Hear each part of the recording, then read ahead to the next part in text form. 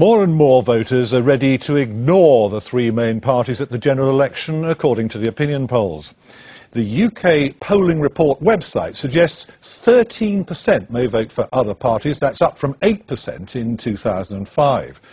The UK Independence Party have been the biggest beneficiaries here in the Midlands so far.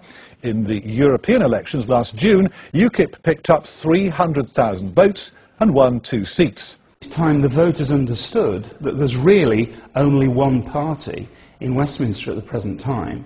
It's called the Lib Lab Con, and it has one policy because it's a single issue party.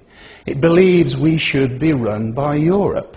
So, if you want domestic policy in this country being controlled at Westminster, you have to vote UKIP because the others are giving it all away to be done in Brussels, and 75% of our law is now made in Brussels. With me here this afternoon, Christopher Gill, who will be uh, remembered by many as the uh, former Conservative MP for Ludlow, where you are now standing for UKIP, of course, Christopher. I've come on this programme to talk about the general election. And the big issues at this general election are undoubtedly the national economy, immigration, and this is a subject on everybody's lips, and as far as I'm concerned in the Ludlow constituency, the rural economy.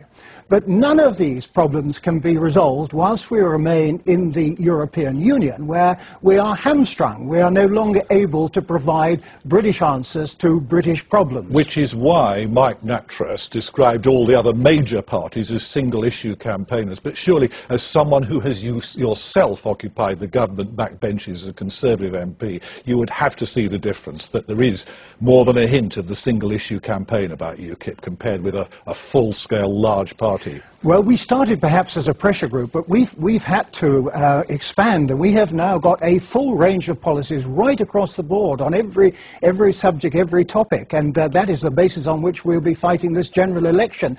And we look forward to hearing them spelled out during the course of the campaign. And what is more, we're going to be telling the truth. Thank you very much indeed.